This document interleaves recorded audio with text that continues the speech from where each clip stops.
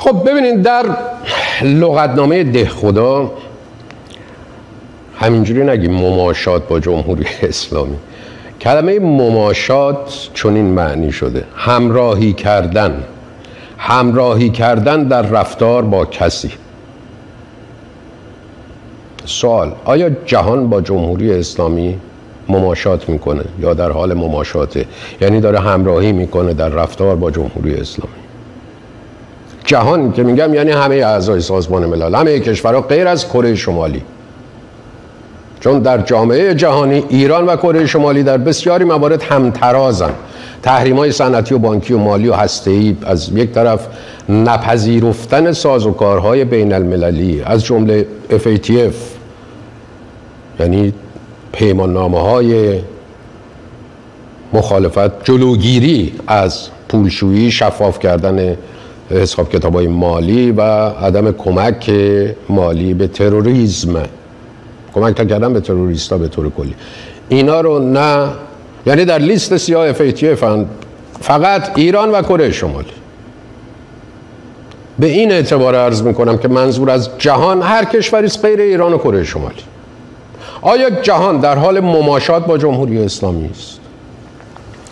بزنید سریع من مواردی رو عرض بکنم. از منطقه شروع کنیم و مهمترین کشور عربی که چگونگی روابطش با جمهوری اسلامی در تحولات خاورمیانه بسیار اثرگذاره یعنی عربستان سعودی. رابطه عربستان و جمهوری اسلامی تقریبا هیچ وقت رابطه خوبی نبوده و گاه حتی خسمانه بوده صمیمی که نبوده هیچ گاهی خسمانه بوده. عربستان از حامیان جدی صدام بود در جنگ ایران و عراق. سال 63 من تیتروار میگم چهار فروند اف 4 نیروی هوایی جمهوری اسلامی به حریم عربستان وارد شدن. عربستان فقط عربستان زد هر چهار تا یکیشون تونست عملیاتش انجام بده. در واقع سالم موند یکیشون که بمبارون مخزن آب دمام عربستان بود سال 63 دو سال بعد سال 65 عربستان کلی مواد منفجره از چمدون حاجی های ایرانی کشف کرد که بعد معلوم شد اصلا خود حاجی ها خبر نداشتند که جمهوری اسلامی برای عملیات تروریستی در عربستان مواد منفجره رو بدون اطلاع حاجی های بیچاره تو وسایلشون جاسازی کرده بود. یک سال بعد سال 66 تظاهرات قدس حاجی های ایرانی علیه اسرائیل عربستان و آمریکا و پرچم آتیش زدن و مرگ بر فلان مرگ بر بهمان باعث درگیری بین و با خشونت باعث درگیری بین پلیس عربستان با ایرانیا شد که صدها ایرانی کشته شدن خمینی سخنرانی کرد. اگر ما از مسئله قدس بگذاریم اگر ما از حدام بگذاریم اگر ما از همه کسانی که به ما بدی کردن بگذاریم نمی‌تونیم مسئله حجاز بگذاریم مسئله حجاز یه باب دیگری است غیر مسئله چه دیگر. میگه ما حتی اگر از فلسطین بگذاریم به قول خودش یعنی اینکه حتی اون ماجرای اسرائیل رو نابود بکنیم فلان اینا رو ازش بگذاریم نابود نکنیم. کاری با اسرائیل دیگه نداشته باشیم. با هیچ کاری نداشته باشیم. وسط جنگ با عراق هم هست. میگه حتی با صدام هم کاری با عربستان با حجاز با قول خودش نمی‌تونیم کاری نداشته باشیم. اینا فلان هم بهمان خب؟ خب اینی که مرد رفسنجانی سعی کرد روابط با عربستان رو ترمیم بکنه. تنش صدایی در دوره ریاست جمهوری خاتمی هم ادامه داشت. اما سال 1390 اریک هولدر وزیر دادگستری آمریکا اعلام کرد جمهوری اسلامی طرح ترور عادل الجبیر سفیر عربستان سعودی در آمریکا رو داشته که عامل اصلی ترور منصور ارباب سیر یا سیار دستگیر شد در آمریکا. و طبق اعلام وزارت دادگستری آمریکا او قرار بوده که از طریق غلام شکوری افسر نیروی قدس سپاه این ترور رو با کمک یک کارتل گردن کلفت مواد مخدر مکزیکی لوس زتاس انجام بده. بر حال لو رفت و باری کشته شدن صدها ایرانی در عربستان سال 94 هم تکرار شد. من دارم به قول علما کرونولوژی که عرض می‌کنم خدمتتون با از گذشته آمدم همینجوری میام جلو که گفتم سال 90 ماجرای لو رفتن طرح ترور عادل جبیر سفیر عربستان در آمریکا بود یکی از قدرتمندترین مردان عربستان. و بعد سال 94 چهار سال بعدش ماجرای کشته شدن حجاج ایرانی در اون ماجرایی که گفتن فاجعه منا و اینها. اونجا تکرار شد. علت رو عربستان ازدهام حاجی های ایرانی و قاطی کردنشون خلاصه در نمی‌دونم یکی از مراسم حج حالا هرچی ادهی زیر دست پا مردن. دی ماه همون سال شیخ نمر آخوند مورد حمایت جمهوری اسلامی در عربستان اعدام شد. در ایران چماقدارای جمهوری اسلامی به سفارت عربستان در تهران و کنسولگریش در مشهد حمله کردند. پرچم عربستان و ساختمان کنسولگری را آتیش زدن رابطه به کلی قطع شد. حمایت جمهوری اسلامی از انصار الله یمن علیه عربستان رسما ادامه پیدا کرد و گسترده تر شد. تریبون های حکومتی سریح تر از گذشته علیه حکومت عربستان تبلیغات کردند. در دنیای اسلام یه عده های بیارزش و نالایق و پست سرنوشت برخی از جوامع اسلامی رو در دست گرفتن مثل همین دولت هایی که مشاهده می‌کنه سعودی و امثال اینها. البته اینها نابود شدنی هستند اینا زواهر رو که نگاه کنید این زواهر نباید کسی رو گول بزنه.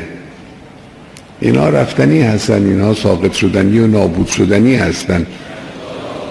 ان الباطل کان زهوقا. اینا باطلن و قطعا دچار زوال و سقوط و بدبختی و فرو افتادگی خواهند شد.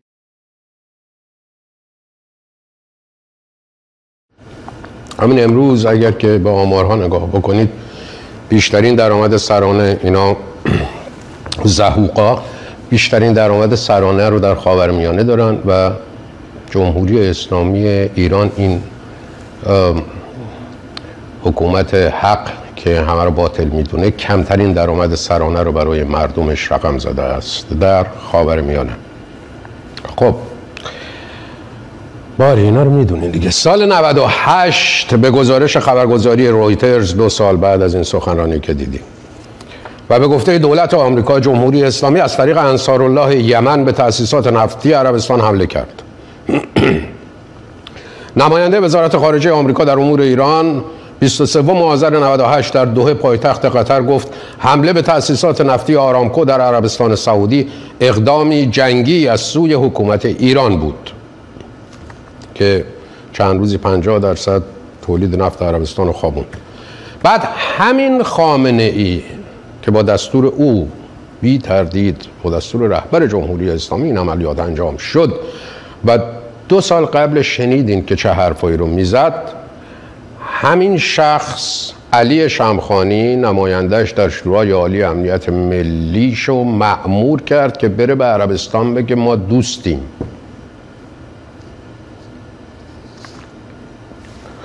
19 اسفند 1401 در پی دیدار علی شمخانی نماینده رهبر معظم و دبیر شورای عالی امنیت ملی ایران و همتای سعودیش در چین و گفتگوهای فشرده روابط دیپلماتیک ایران و عربستان سعودی از سر گرفته شد. فروردین 1402 هم وزیر خارجه عربستان آمد ایران و سفارت خونه ها در دو کشور بازگشایی شد و نون و خورما با هم خوردن و از این حرفا.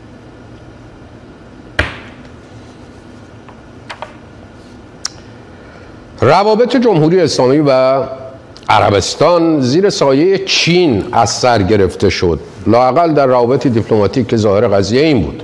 مسئولان و رسانه های جمهوری اسلامی از اتحاد ایران و عربستان گفتند که معادلات منطقه را تغییر خواهد داد و به نفع جهان اسلام است بار شد تو رسانه هاشون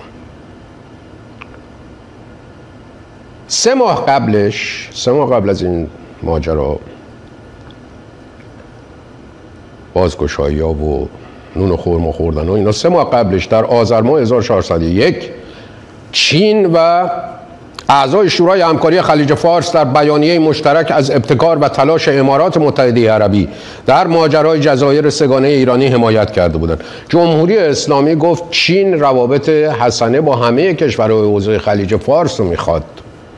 مهم نیست توجه نکنین به اینکه به چشم داشتن امارات به سه جزیره ایرانی سهه گذاشته.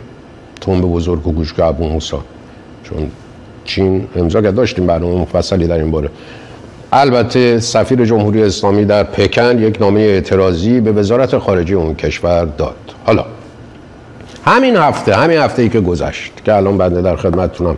عربستان که هیچ روسیه هم از ادعای امارات بر جزایر سگانه حمایت کرد. یعنی دو کشوری که میگن جمهوری اسلامی میگه اینا متحدان استراتژیک ما اصلا اینا با اینا متحد بشیم به نفع اسلام است. خب؟ همین هفته وزیران خارجه روسیه و شش کشور عضو شورای همکاری خلیج فارس، کویت، عربستان، بحرین، قطر، امارات و عمان در بیانیه مشترک گفتند که از تلاش های امارات برای حل مسئله جزایر سگانه از طریق مذاکرات دو جانبه با ایران یا دادگاه بین المللی حمایت می کنند. جمهوری اسلامی که میگه متحد استراتژیک روسیه است و در واقع همراه روسیه با اوکراین در حال جنگ هیچ کدوم از کشورهای حوزه خلیج فارس در این جنگ شاید سرنوشت ساز برای حکومت پوتین روسیه رو در حمله به اوکراین کمک کردن نکردن. چجوری روسیه این موضع رو در واقع علیه جمهوری اسلامی می‌گیره در کنار این کشورها؟ کشورهای عرب حوزه خلیج فارس. اینو تا اینجا داشته باشین. از دو هفته پیش خبر معلق شدن رابرت مالی نماینده ویژه دولت آمریکا در امور ایران منتشر شده و کلی اخبار پیامد داشته واکنش های پیامد داشته. به حال بعد اعلام شد که پلیس آگاهی فدرال آمریکا FBI داره روی این موضوع کار می‌کنه و آنطور که در اخبار منتشر شد موضوع سوء استفاده احتمالی رابرت مالی از موقعیتش در پیوند با اسناد محرمانه داره تحقیق می‌کنه اف بی آی قضیه در کنگره آمریکا یعنی در سنا و مجلس نمایندگان این کشور طبیعتا سر و صدا کرد به دلیل اینکه به ویژه موضوع ایران و تو این وضعیت حساس فعلی. کمیته روابط خارجی مجلس نمایندگان آمریکا یک هفته به وزارت خارجه آمریکا مهلت داد تا دلایل معلق کردن رابرت مالی از مسئولیتش رو ارائه بده. وزارت خارجه آمریکا در مهلت مقرر که می‌شد یک شنبه پیش نامه ای به رئیس کمیته روابط خارجی مجلس نمایندگان آمریکا فرستاد که در واقع رک خدمتتون بگم حاوی توضیح مشخصی نبود. وزارت خارجه آمریکا در این نامه که یک نسخه از آن به صدای آمریکا رسیده است ضمن اشاره به تبعیت از سیاست های وزارت خانه از ارائه هر گونه سند یا اطلاعات بیشتر مرتبط با موضوع مجوز پرسنلی و امنیتی آقای مالی خودداری و اعلام کرد که وزارت خارجه تنها مرخصی آقای رابط مالی را پذیرفته و به رئیس کمیته روابط خارجه مجلس نمایندگان اطمینان داد که در حال بررسی موضوع هستند در ادامه این نامه آمده است که وزارت امور خارجه ضمن مهم دانستن حفظ ارتباط با مجلس نمایندگان خود را به ارائه دقیق ترین اطلاعات موجود به کنگره و مردم متعهد می داند. اما رئیس کمیته روابط خارجی مجلس نمایندگان در این زمینه به خبرنگار صدای آمریکا گفت این یک پاسخ کاملا غیر قابل قبول است کنگره باید دقیقا بداند که چرا مجوز امنیتی فرستاده ویژه آمریکا در امور ایران به حال تعلیق درآمد. سپس از سمت خود معلق شد و اکنون طبق گزارش های خبری موضوع توسط پلیس فدرال در حال بررسی است. مایکل مکال رئیس کمیته روابط خارجی مجلس نمایندگان آمریکا با اشاره به اهمیت جایگاه رابرت مالی و مأموریتش در زمینه مذاکره با جمهوری اسلامی تصریح کرد که این رخداد بسیار جدی است. من از وزارت خارجه پیگیری خواهم کرد تا هفته آینده هفته که در پیش است یک گزارش محرمانه را درباره این موضوع دریافت کنم. هنوز مشخص نیست که دلیل معلق شدن آقای مالی از کارش چه بوده. آنچه تا الان روشن شده لاقل به روشنی اعلام شده این است که به گفته جیک سالیوان مشاور امنیت ملی کاخ سفید در گفتگو با بخش فارسی صدای آمریکا دولت جو بایدن با هدف آزاد کردن آمریکایی های بازداشت شده در ایران با جمهوری اسلامی مذاکرات غیر مستقیم دارد. مذاکراتی که رابرت مالی هم در آنها فعال بود و گفته می شود که در همین زمین بارها با ایروانی سفیر جمهوری اسلامی در سازمان ملل دیدار داشته.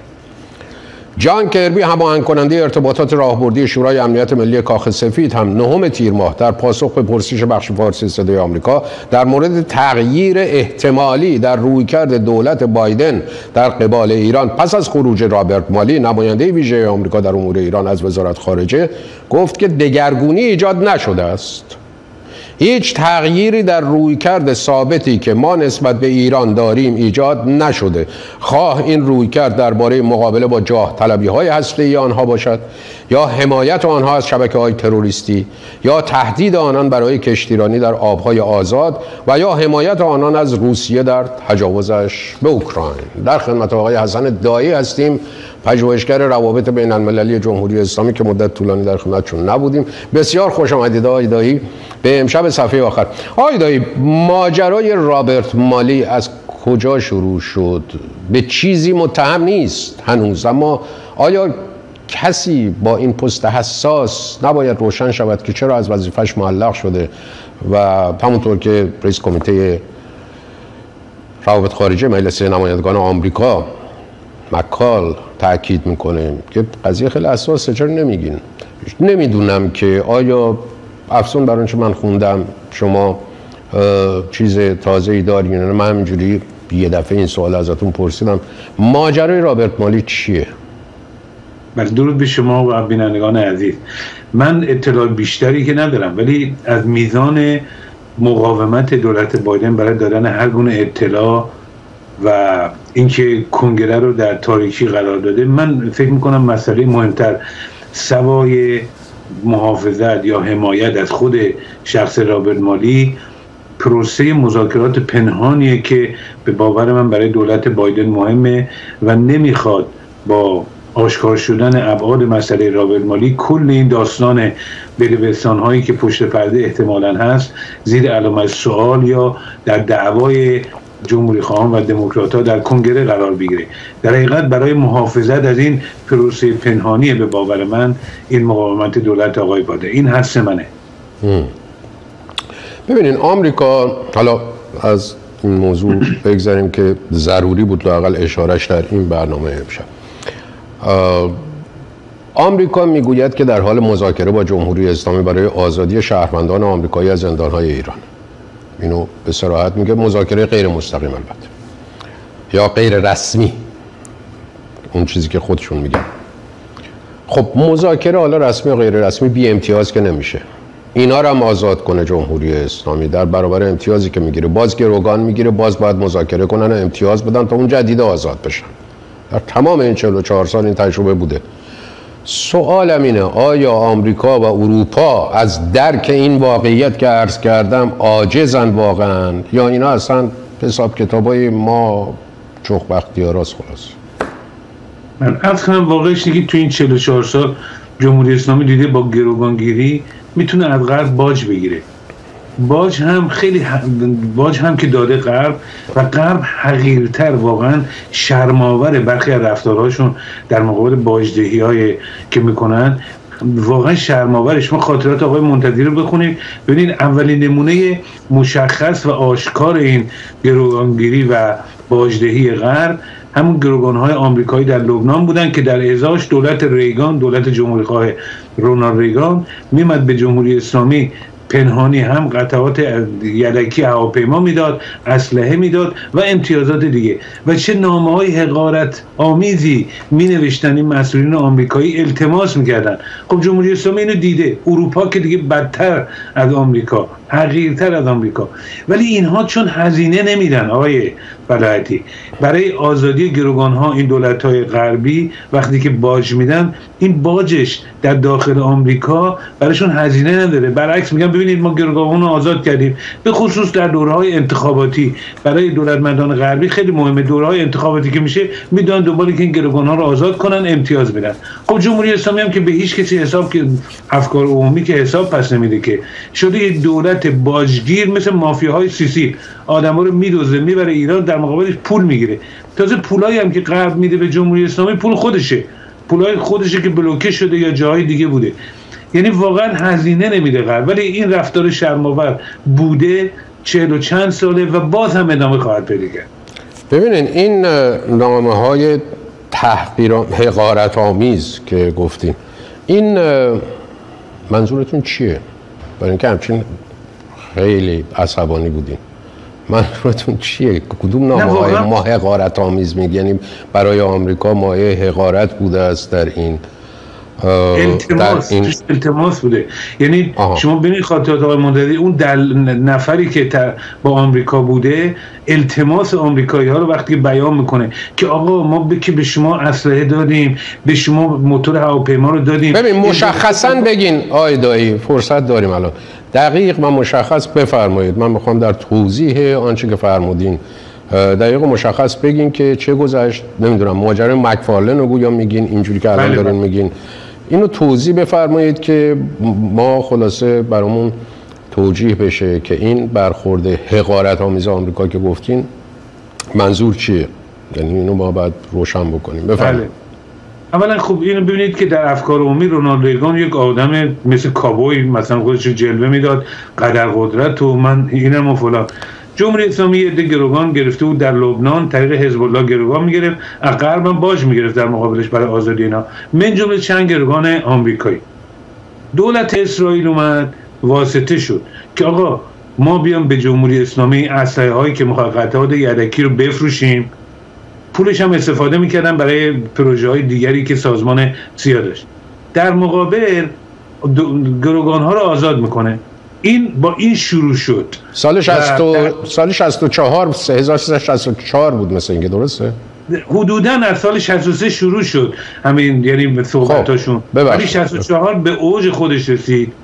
و یه دفعه توسعه پیدا کرد. یه دفعه آقای ریگان خودش ببینید این گزارش کمیسیون تاور و گزارشات که کنگره داد اینا دیگه چیزای رسمی نوید صحبت خود آقای ریگانه. یه دفعه به این نتیجه رسیدن که سوای اینکه حالا چه باجی می‌دادن به جمهوری اسلامی؟ یه قطعه مثلا موتور فلان هواپیما رو که می‌خواستن می‌رفتن از تو فیلیپین گیر آورده بودن رنگ زده بودن به عنوان کادو چیز اضافه می‌دادن. همه این کارا کردن. نامه های قربانی فر و کنگرلو که دلال این ماجرا بودن که التماسایی که می‌کردن که آقا شما قول داده بودید مثلا شب کریسمس فلان گروگان آزاد کنید که ما خیلی منتظر بودیم. چرا نکردید چرا خلف وعده کردید مثلا اینا. اینا هیچ. بعد یه دفعه آقای ریگان به این نتیجه که آقا در دولت ایران ما جناح خوب داریم به جناح بد. این بازی که جمهوری اسلامی چهل و چند سال با غرب کرده اولش همه دولت رونالد ریگان بود. البته تو فرانسه هم این حرفا رو می‌زدن. به این نتیجه که سوای مسئله دادن اسلحه و آزادی گروگان ها ما اصلا وارد مذاکره بشیم با جمهوری اسلامی بتونیم به طور دراز مدت با هم رفیق شیم سازش بکنیم. حالا مرد طرف معامله ما کیه؟ هاشمی رفسنجانی رئیس مجلس که این اصلاح طلب و معتدله. ببینید شما تصور بکنید دیگه این حقارت بارتر میشه آقای فلتی مشاور امنیت ملی خودش آقای ریگان. به همراه کلونل الیور نورس. مکفارلن رو به همراه کلونل نورس. با یه سری کادو کرده تو هواپیمایی که قطعات یدکی بوده. فرستاده تهران که دیدار بکنه با مقامات ایرانی. ببینید چه خوشخیالی و من نمی‌دونم به فارسی البته تو محله ما گفتن حالویی حالو بودن چقدره؟ که چقدر جمهوری اسلامی رو بازی می‌داده. که همه چی دادید. این اولین نمونه هم باج دادن به جمهوری اسلامی بود و هم به اصطلاح مماشات به اون معنایی که ما میگیم. یعنی اینکه به جمهوری اسلامی امتیازاتی بدی روی گول خوردن فریب خوردن نشناسی دشمن تو. این اولین نمونهش بود که چهل و چند سال ادامه داره. خب ببینید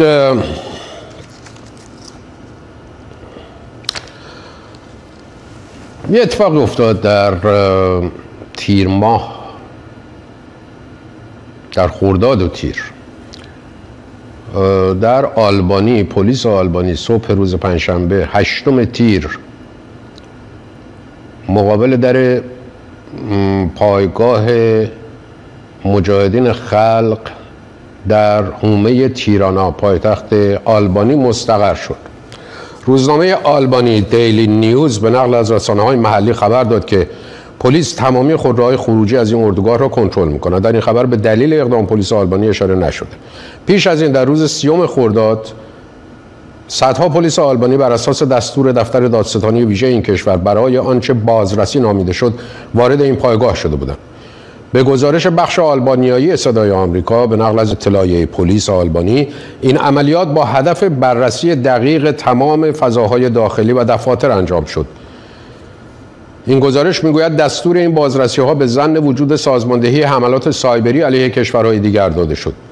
در این حال بر اساس بیانیه شورای ملی مقاومت وابسته به سازمان مجاهدین یک نفر به نام علی مستشاری کشته شد بیش از 100 تن نیز در اثر گاز فلفل مصدوم شدند که اینا را البته پلیس آلبانی تکذیب کرده است و پلیس آلبانی وزارت کشور آلبانی هم گفته است که تصمیم دادگاه نتیجه مستقیم اقداماتی است که به طور مستقیم نقض توافقنامه و تعهدات گروه مجاهدین از سال 2014 نه سال پیش که در این کشور مستقر شدند و از زمانی است که آنها به دلیل بشر دوستانه در آلبانی مستقر شدند.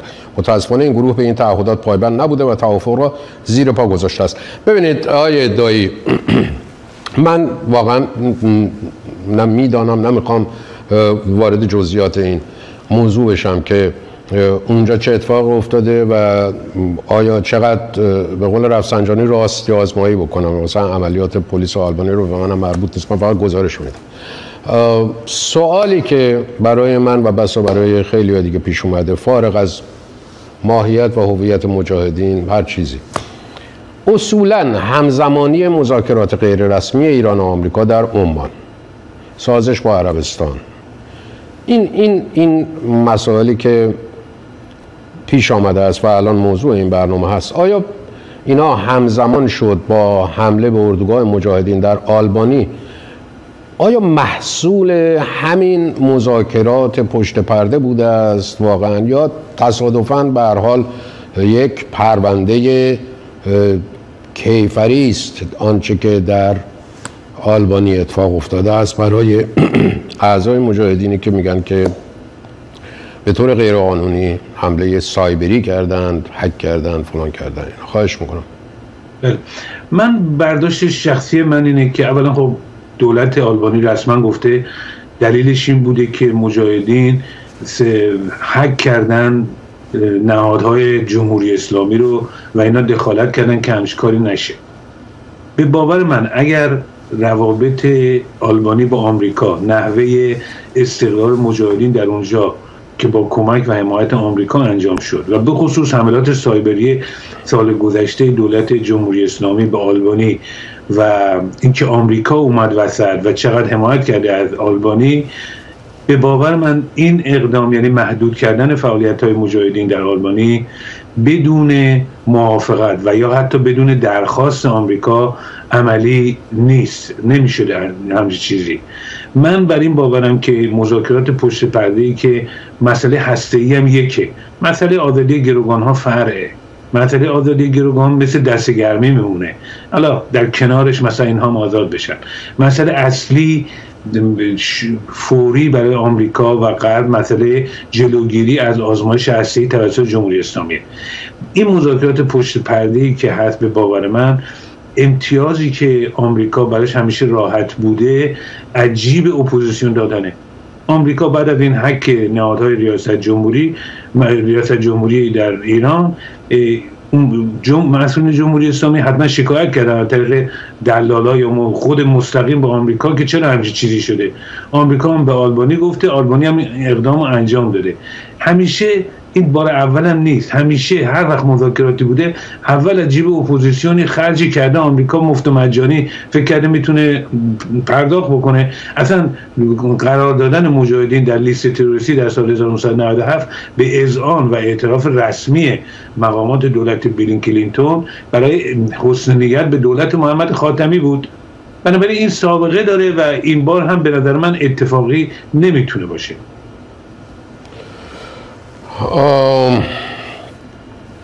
ببینید تو اروپا هم البته به مجاهدین اجازه سالانه شونه که همجه تو پاریس جمع میشن ندادن.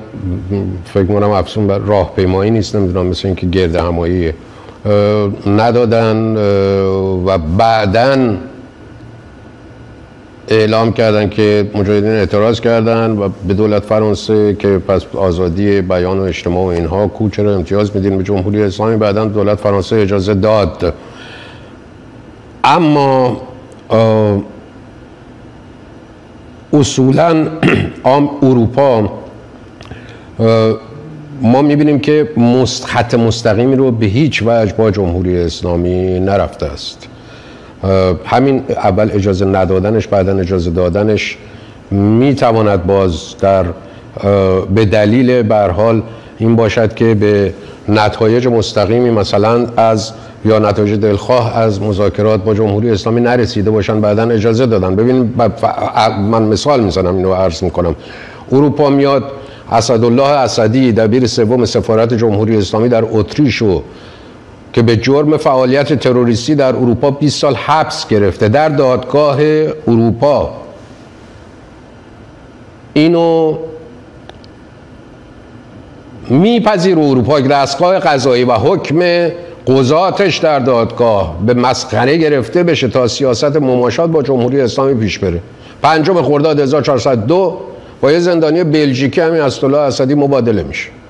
میره ایران و دست گل گردن و فلان خب.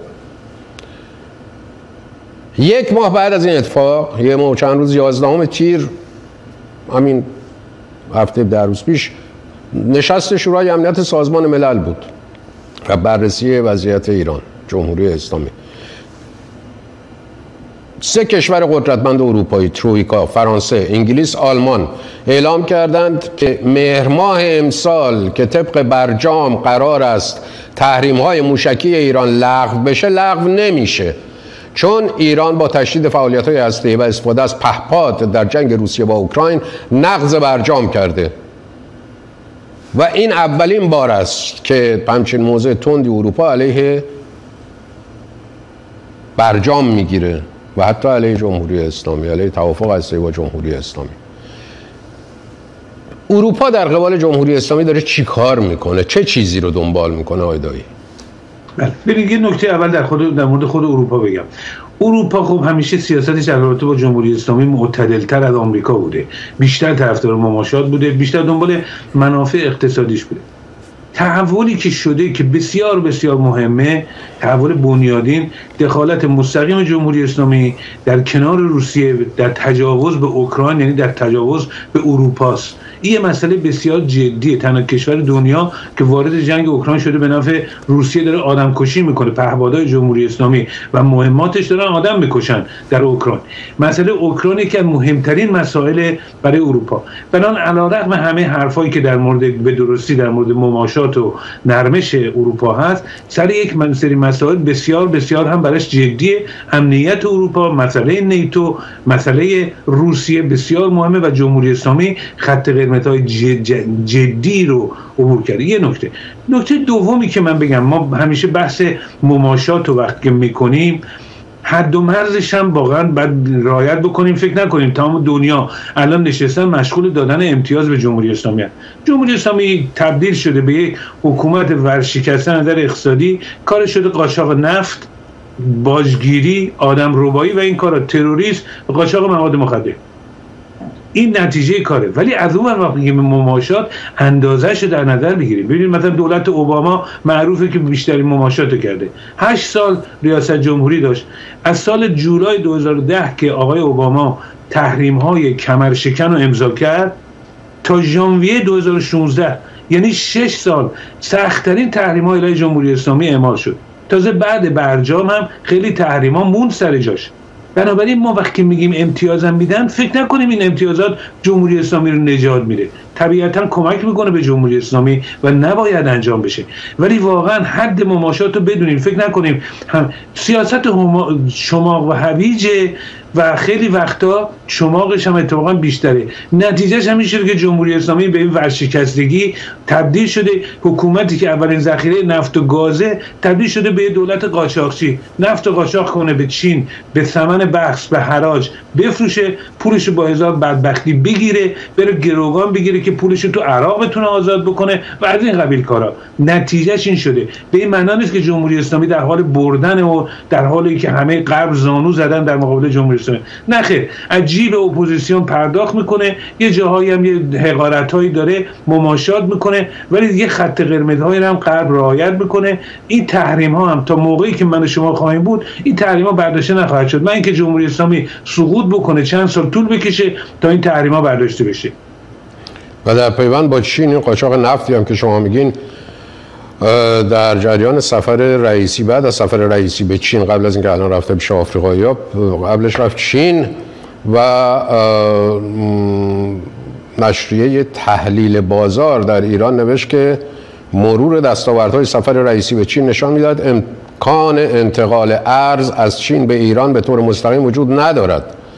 و تجارت و قرارداد ایران با در نظر گرفتن ملاحظات چینی ها در روبرو شدن با تحریم های آمریکا علیه ایران در نهایت با روش مبادله کالا به کالا انجام خواهد شد. اون چیزی که در پیوند با عراق هم مطرح شد. یعنی پولی نمیدن به جمهوری اسلامی برعکس گذشته که دادن البته. ببینید ما خیلی میشنویم. در فضای مجازی در روابطمون در مقاله هایی که نوشته میشه اینجا و اونجا در بعضی سخن هایی که گفته میشه که اصلا غرب نمی‌خواد جمهوری اسلامی بره نه آمریکا می‌خواد جمهوری اسلامی بره نه اروپا. اگر چنین باشد چرا جهان در آغاز جنبش انقلابی محسا در سال 1401 دو پشته از جنبش حمایت کرد؟ انصافا کم نذاشت. اما بعد کم کم دوباره سفره مماشات پهش شد. بله. از کنم که ببینید دلیلش اینه. در اوج جنبش آقای ویلیام برد رئیس سازمانسی های صحبتی کرد که نظر غرب بود به باور من این بود که این جنبش با جنبش مردم ایران با گذشته تفاوت داره بسیار جدیتره. یه چالش بسیار مهم علیه جمهوری اسلامیه ولی در این حال در کوتاه مدت خیلی کوتاه مدت جمهوری اسلامی توان سرکوبش رو داره. یعنی که غرب بر این باوره که دراز مدت جمهوری اسلامی آینده ای نداره حتی میان مدت آینده ای نداره. مردم پیروز خواهند شد ولی کوتاه مدت رو نمی‌بینه. بنابراین کوتاه مدت یه کارهای فوری فوتی باید, باید به جمهوری اسلامی انجام بشه. من جمله مسئله هستی که جلوگیری بکنه از دستیابیش به سلاح هستی. بنابراین باید باهاش یک نوع مراوده یا سازش یا هر چی داشته باشه. یه نظر غربه این نکته اول. اینو باید بدونیم که بالاخره وقتی دولتی حاکمه اینو نمی‌تونن منزوی بکنن تمام مسائل رو بدونن. که اونم در ایران که یکی مهمترین نقاط جهانه. نکته بسیار مهم دوم اینه که ببینید غرب و اروپا اینا به آینده جمهوری اسلامی اطمینان نداره ولی تا وقتی یک نیروی جایگزینی که مورد اعتماد غرب باشه. مهمتر از همه قدرت اینو داشته باشه که بتونه با جلب حمایت کامل مردم بتونه جمهوری اسلامی رو که سرنگون می‌کنه در ایران آرامش رو حفظ کنه بالاخره مهمترین منطقه سوقلجشی جهان اونجا. نمی‌تونه غرب از بیثباتی مثل اتفاقاتی که در لیبی افتاد یا در سوریه افتاد میترسه. اینم جمهوری اسلامی خرج می‌کنه. بنابراین تا وقتی که این تعادل قوا به نفع آلترناتیو به نفع نیروی جایگزین به نفع جنبش تغییر نکنه که به باور من میان مدت تمتا نخواهد بود زیاد طول نخواهد کشید. غرب کماکان روابط خودش با جمهوری اسلامی رو به هر گونه پنهان غیر پنهان حفظ خواهد کرد. پلها رو خراب نخواهد کرد تا موقعی که این تعادل تغییر بکنه. در این چارچوب باید ما انتظاراتمون رو قرار بدیم که غرب بله از جنبش مردم ایران حمایت کرد صادقانه هم حمایت کرده باز هم حمایت خواهد کرد ولی فعلا این حکومت سر کاره. باید مسئله هسته مسائل منطقه ای رو هم بهش برسه. هیچ امتیاز دراز مدتی هم به باور من غرب به جمهوری اسلامی نداده و نمیده. ما وقتی مماشات میگیم اینو در نظر داشته باشیم. امتیازات مقطعی میده که ما باید جلوش بگیریم. این کوتاهی ماست که نتونستیم کاری بکنیم در آمریکا و در اروپا با این نیروی عظیم ایرانیان که جلوی این کار رو بگیریم. ولی غرب رفتارش به نظر من در این چارچوب قابل تعریفه. نه که ما حمایت بکنیم. یکی همین مسئله که نیروی جایگزینی دومی که فوری و فوتی کارهایی داره که میگه حتی اگه مثلا حکومت دو سال دیگه هم بخواد سرنگون بشه من نمی‌تونم منتظر بشم که بالاخره مسئله که آزمایش هسته‌ای بکنه یا نکنه روی میز ماست. مسئله اوکراین روی میز ماست. مسائل مهم جدی داره که و مسئله آخرم اینه که ما یادمون نره از نظر ما ایرانیا دنیا باید جدی در مقابل حکومت بیسته. درست هم میگیم. حرف ما درسته. فقط ما مردم هم نیستیم. منافع غرب هم به خطر میندازه. ولی غرب هم کشورهای غربی آمریکا و اروپا در مقاطعی چالش های امنیتی استراتژیک مهمتری برای خودشون قائلن. برای آمریکا الان مسئله چین فوری و فوتی مسئله اوکراین و روسیه. چین دراز مدت اوکراین و روسیه کوتاه مدت. این مسئله یک که چالش اصلیه و پیش خودش فکر می‌کنه تمام تهدیدات جمهوری اسلامی رو من می‌تونم کنترل بکنم. یا ضرباتش ضررهاش و زیاناش برای من قابل تحمل اینو اینطور باش رفتار می‌کنن. بنابراین اگه همه این نکات در نظر بگیریم ما چارچوب مماشات رو درک کردیم و اون موقع می‌فهمیم که ضعف اصلی ما بوده که نتونستیم نیروی عظیم جنبشی که در اختیار ما ایرانیان خارج کشور بود اینو تبدیل به یک نیروی بالقوه بکنیم. مثل یه رودخونه که در جریانه. بله خیلی قوی و قدرتمند و زیباست. ولی تا اینو روش جلوی سد نبندی توربین نداری تبدیل به انرژی مفید نمیشه. این تظاهرات همه خوب بود فعالیت رسانه خوب بود. ولی تا وقتی که در نتونیم در خارج کشور سازماندهی وسیع و گسترده برای دخالت در سیاست تاثیر روی سیاست گذاری های آمریکا و اروپا داشته باشیم این نیروها به هدر میره. بنابراین مجموعه این که من خواستم یه وقت فکر نکنیم جمهوری اسلامی قدر قدرت و همه در اختیارش نخه. مسئله فقط کوتاه مدت برای غرب امتیازات دراز مدت هم به جمهوری اسلامی نداده و نمیده. آقای دایی آیا واقعا میشه بدل لابی های جمهوری اسلامی در خارج از کشور رو زد؟ صد درصد. ببینید در اصلا ما بگیم کار فعالیت در آمریکا سیاسی نه. هر کار سیاسی تشکیلات و سازماندهی می‌خواد. بدون تشکیلات سازماندهی که هیچ کاری نمیشه که ما باید سیستم رو اینجا بشناسیم. به خصوص آمریکا که لابیگری خیلی روشنه خیلی قانونیه. الان در کنگره هم هستن ایرانی ها هستن با گرایشات مختلف هستن ولی ضعیفه. دارن لابی می‌کنن. ولی این جمعیت عظیم ایرانی در اروپا و آمریکا و در کانادا می‌تونن خیلی موثرتر باشن اگه وارد سیستم بشن سازماندهی پیدا کنن. نحوه تماس با نمایندگان نحوه تاثیرگذاری در مؤسسات فکری در اندیشکده ها در رسانه ها و قانونگذاران همه اینها رو همونطور که سیستم همونطور که طرفداران جمهوری اسلامی یاد گرفتن و می‌کنن اگه ایرانی ها هم متعهد بشن که فراگروهی علا رقم همه اختلافاتی که با احترام به همه اختلافاتی که سر این مسئله در کنار هم بتونن واقعا لابی بکنن برای حمایت از جنبش طبیعتا می‌تونن خیلی خیلی کار بکنن. خب به حال ما الان در بین ایرانی ها داریم می‌بینیم که یه از ایرانی ها هستن که نمایندگان در, در, در مجلس نمایندگان کشورهای مختلف هستن در اروپا هستن در کانادا بعضیاشون در دولت ها و در بخش معاونت های وزارت خونه ها پوست های مهمی دارن. ولی خب الان ایرانی ها همین جایی هستن که بنده و شما نشستیم داریم حرف می‌زنیم. بله اون خب اون خیلی کمه. اون که خیلی کمه. این نمایندگان خیلی هم خوبه خیلی هم اومدن. تعداد انگشتان دسته البته کسانی که خیلی جدی اومدن وسط. و ولی من دارم صحبت از این می‌کنم که میلیون ها ایرانی و متوسط درآمد ایرانی ها در آمریکا به خصوص بیشتر بیشتر متوسط آمریکا آمریکایی هاست. یه جمعیتی که تو همین کالیفرنیا به تنهایی می‌تونن نماینده کنگره رو یا سناتورها رو عوض بکنن. اینقدر قدرت دارن اینقدر تعداد دارن. می‌تونن تاثیرگذار باشن. هیچ کدوم اینا نیست. تماس منسجم تماس ارگانیک با تمام اینها کار کردن مداوم. این نیازمند یک تشکیلات و سازماندهی و پول و عزم جدیه که این مسئله رو درک بکنن. واقعا اینه که مثل مثل یک دقیقا مثالی که من برای خیلی از دوستان می‌زنم اینه مثل یه جایی که خوشسالیه یه دفعه بارون سیلاسایی میاد همه خوشحال میشن. ولی این بارون سیلاسا میاد و میره. ما این پنج شش ماه گذشته بارون سیلاسا بود. تظاهرات ایرانیان و حضور در رسانه ها ولی وقتی ما نباشه تشکیلاتی نباشه که این بارون سیلاسا رو بتونه این آبها رو کنترل بکنه این انرژی ها رو به خدمت بگیره در داخل سیستم آمریکا به اثری نخواهد گذاشت. آقای دایی البته در این زمینه من فقط یه نکته رو اضافه کنم که مسئله مستند کردن اسناد مدارک اینا خیلی مهمه و همونطور که فرمودن آقای دایی استناد به تشکیلات و اینا. آقای دایی کمتر از یه دقیقه متاسفانه وقت داریم. یک کلمه می‌خوام ببینم که آیا در نگاه شما روابط جمهوری اسلامی عربستان چشماندازش چقدر برای این دو کشور مثبت من کوتاه مدت می‌بینم. چالش های بسیار زیادی هست. عربستان برای پروژه های اقتصادی دراز مدتش نیاز داشته و آرامش. چین هم برای سرمایه گذاری های عظیمی که در منطقه می‌کنه احتیاج به آرامش داره. جمهوری اسلامی از موضع بسیار ضعیف و ذلیلانه تن داده. میلیاردها دلار در یمن خرج کرد. همش بر باد رفته. جمهوری اسلامی احتیاج داره تا بتونه به خصوص شبکه های اقتصادیش رو در امارات تقویت بکنه برای قاچاق پول و اسلحه و نمی‌دونم هر چیزی قاچاق نفت و غیره.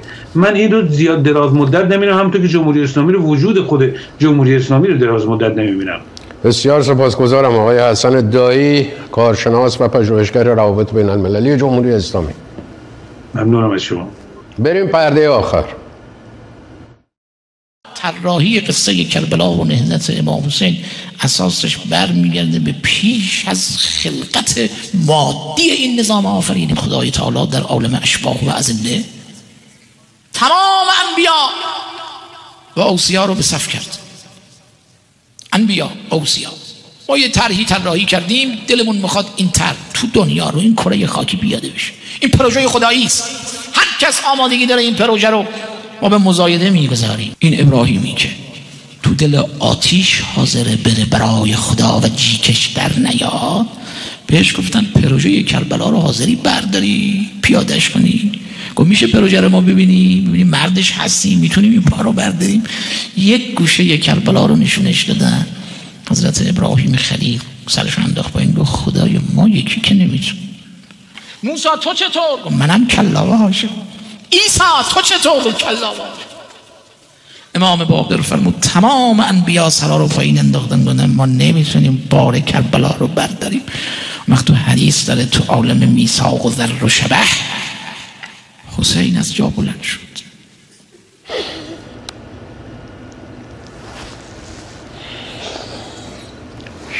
شب و روزگار خوش.